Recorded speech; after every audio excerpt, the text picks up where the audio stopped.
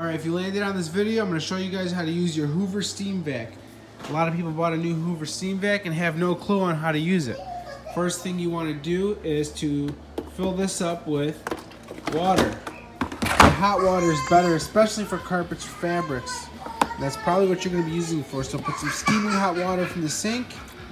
Fill this up with water, which I've already done, but I just wanted to show you guys how to get it unlocked. It's supposed to be that line right there up with water. Rug Doctor Carpet Cleaner System um, liquid. You're going to fill that up up to about right there. Sorry for all the other background mess in the background, but this video is just about showing you guys how to work this sucker. Right. Uh, detergent for vacuums and stuff. Every store sells them. So once you lock the uh, bottom in right here, and you are going to lock this in place. Got one hand here, guys, so don't Please don't hit me for the shake. Two buttons here. This one lifts this section here down, pulls it back this way, and this one turns it on and off. Um, we're actually going to tilt it back, which is with that one. And push. Sorry, I got one hand again. All right, got that down. Now you have to lock your dirty water tank in.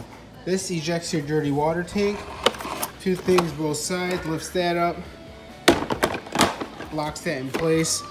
Just showing people who don't know how to do it. Next, you are going to lock your dirty water tank. This must be locked in on center. If it's not, it will not have suction because it's not closed correctly. So make sure you have this locked in place and make sure that this is all flush right here. That means it's locked. Pull this guy back up.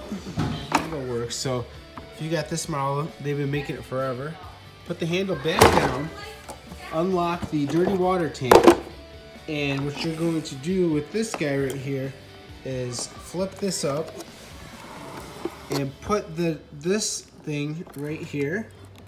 Hold on, I just gotta lock it down. You gotta push down right there. This piece actually overlaps that and locks it in place. You see that? What's going on? So now it's nice and tight. And now this piece flies up and down, up and out. I have to, you can't just flip it down, sorry. You have to pull it up and out. Got that in. Lock this thing in place. Centered. Now when this is flapped down, that means the hose can be used. If this piece right here is flapped up,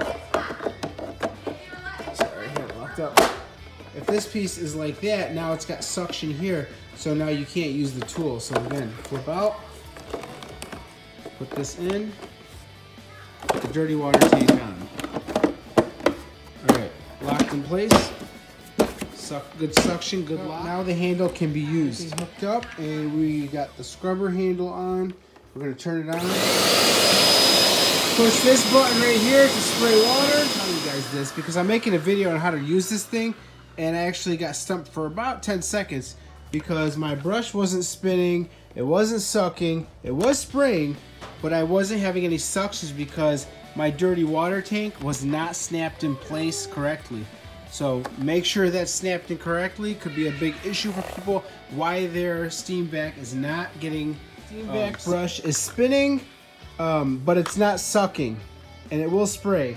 Um, it's just that issue. You're not getting suction because one of these is not locked into place correctly. Pushed in all the way, locked over.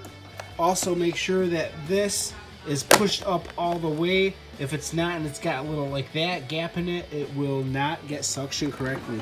So if you're not getting suction, this could be a quick fix. Push this up, make sure that this is locked in place and flush, that your rubber gasket's on. Right, let's get. Now we got this working, we are ready to scrub and suck. Alright, so that's how you use the head on this thing. Um, I'm actually not using the main part of the vacuum, but I am going to show people how to use it just so they know how it works. We are going to release this level where it says uh, handle, and we're going to let it down. All right, got that piece down right here. We are going to remove the fill, the top part of the dirty water tank, pull this up, lock this up, and pull out, up and out. Let me try to get this with one hand, I can show you guys. Ugh. Yep, got it. Okay, this piece must go up and down in place and be flush flat. Next, you are going to put back on the dirty water tank the correct way. All right. Two pieces locked in first, these sections here, and push down. Oh, nope, see, I didn't get it. Make sure you guys got that on correctly. Oh, that's a nice tight fit right there. You know it's ready to go. Now your uh, Stever Hoover vac, Hoover vac, whatever you want to call it, is ready for vacuuming um, with this unit right here. That's it. So that's how to use your Hoover steam. Thanks for watching. Give me a thumbs up.